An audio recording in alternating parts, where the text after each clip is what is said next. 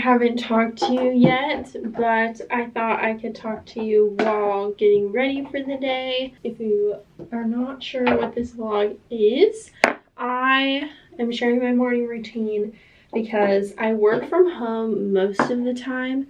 I do have an office that I drive to, but most of the time I'm able to work from home. So that is what I'm doing today. And by work from home, I'm not super productive at home, so I work at coffee shops normally.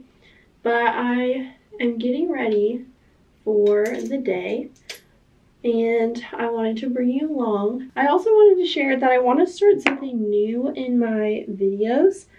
And of course, I think vlogs are entertaining and I could watch vlogs all day, every day. But other people normally like to watch vlogs because they want to get something out of it. So I want you to get something out of my vlogs. So I'm going to start a little segment in my vlogs where I share a little tip about young womanhood, about, you know, being productive and organized and taking care of your house or apartment or something like that. So today's tip, I'm going to call them 101s because it's kind of like a college class and I love that. So today we're going to talk about morning routine 101 or waking up 101. I haven't decided. But my key to waking up, and I know this is not what a lot of people recommend or it may not be the best thing for you, but when I wake up, I immediately play the Wordle of the day, which seems silly. It's not as popular anymore. But the reason why I do that is because it helps me wake up my brain as I start thinking of the word. And then it helps me actually get up. And I know it's on your phone, and people say, don't look at your phone when you wake up. So I may not keep this habit forever, but this has been my habit for a while now. So if you struggle waking up, try waking yourself up mentally by doing something that engages your mind. Change of scenery, but I wanted to keep talking to you. First, sorry about this pimple. It's just atrocious and I'm trying to get rid of it. I wanted to just chat about working from home because it's been a little bit of a tough adjustment for me because I just do not stay motivated at home. Ways that I try to combat that is through time blocking, which I have talked about on Instagram and TikTok. Um, I time block my days and it keeps me accountable because my toxic trait is I think I have more time to do something than I actually do. And my husband Alec all the time is like, upset at me because I'm normally trying to finish dishes or the laundry as we're supposed to be running out the door to go somewhere but I always think I have more time and I never do. Another thing that I do is I try to schedule things in the morning so that I'm you know, getting up and going out and doing things. So today I am selling something on Facebook Marketplace. It's 30 minutes away, so that kind of forces me to get up and get ready quicker because I know I have to drive a little bit.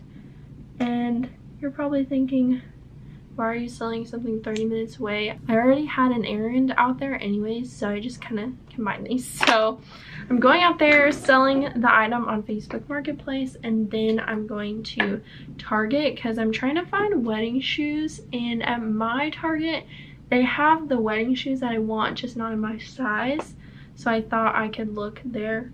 Honestly, as I'm saying this, I probably could do an in-store pickup for them and I may just do that. So that's what I'm gonna do. Thanks for helping me figure this out. But I was thinking about this this morning. I am a full-time social media manager and a freelancer on the side. And if you know anything about freelancing, you have to do a lot of work to get clients, apply for little jobs online, and there's always more you can do with social media too. There's just always more you can post, more you can create, and so the job never stops. And recently I've just been on like autopilot, kind of feeling like a social media robot that just creates content nonstop. Hasn't been doing things that I enjoy, so I'm planning tomorrow to totally romanticize a cozy fall night in and do all of the things. The lighting, the candles, the cookies, the snacks, the movie, like doing everything and doing something extra like this for myself because I feel like when you're constantly thinking about all the work you need to do or what you could be doing next, it kind of makes working from home harder because you start to resent it and you just don't want to do it. You can't be motivated to do it. So that's what I'm to do tomorrow night and I think that will be what I need.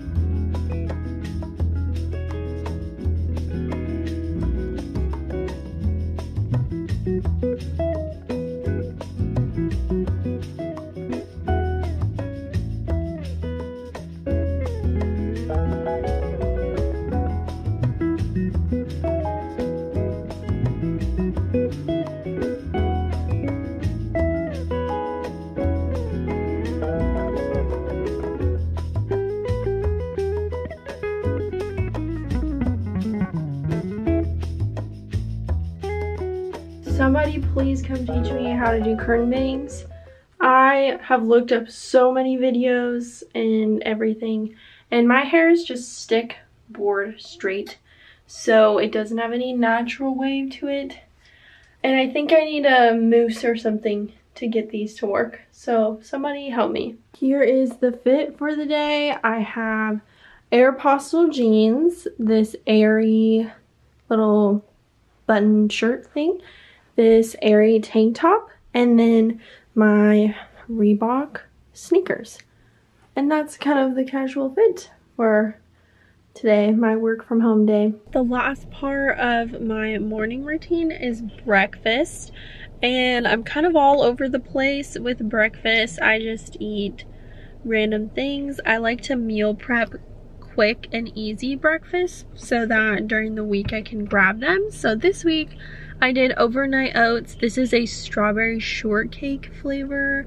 I found it on Pinterest and it's pretty good. I'm gonna sprinkle, I was in a hurry so I grabbed the whole box, but I'm gonna sprinkle graham crackers on top because I think that'd be good and give it the cake sort of feel, but that is my breakfast for today. So that is the end of this vlog. I hope you enjoyed it and if you did, Make sure to give it a thumbs up, subscribe to this channel, and let me know of any other video ideas you'd like to see from me because I love to do those for you. And I will see you guys next Saturday. Bye, guys.